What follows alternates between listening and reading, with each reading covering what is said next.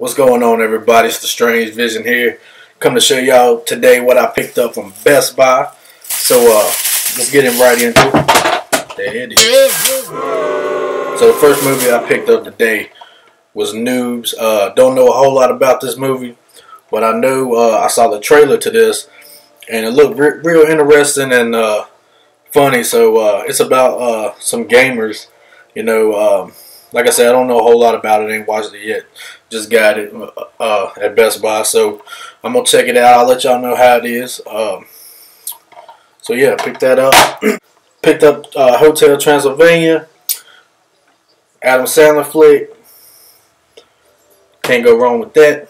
Now, the next next thing I picked up, y'all already know. Batman: The Dark Knight Returns Part Two.